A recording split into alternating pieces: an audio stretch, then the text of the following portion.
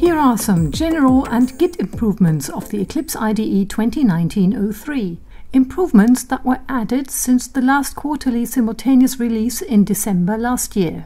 For an empty workspace with no projects yet, links are provided to create or to import projects in the Project Explorer, in the Navigator, and in other Explorer views. Depending on the perspective, there are additional project creation links.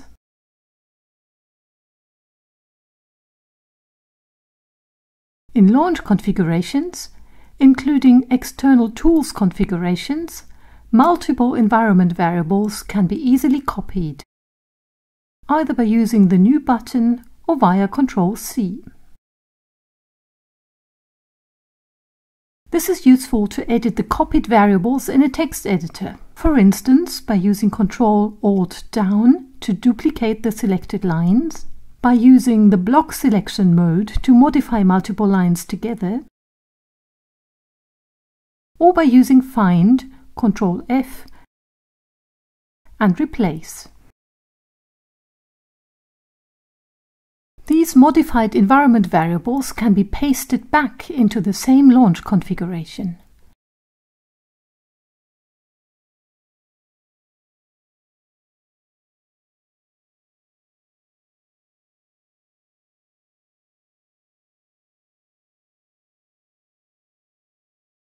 Or the variables can be pasted into a Java application into a JUnit, into a Maven build, or into any other launch configuration with environment variables.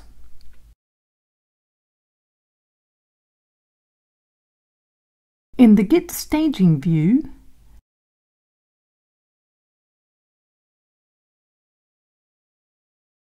there is a new button to sign a commit with a GPG key.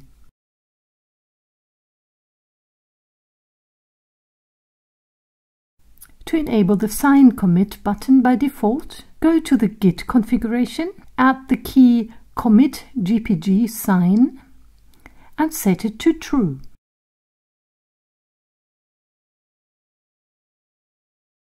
Just a refresh and sign commit is enabled by default.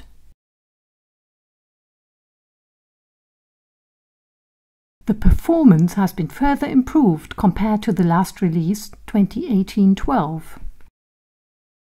For instance, in the Git staging view, filtering works faster now. Without any UI freezes.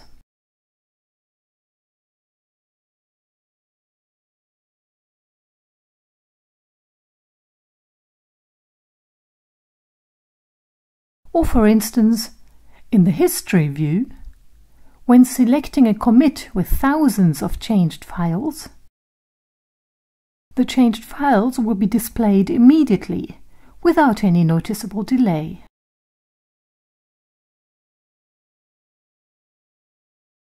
By the way, speaking of changed files, in the right-click menu there is a new entry to copy the list of all paths.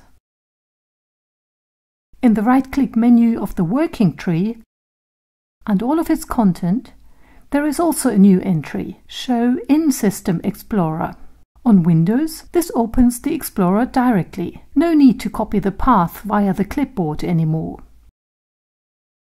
The SSH client Apache MINA has been improved and has become the new default. Authentication failures with a Bitbucket server under certain conditions have been fixed.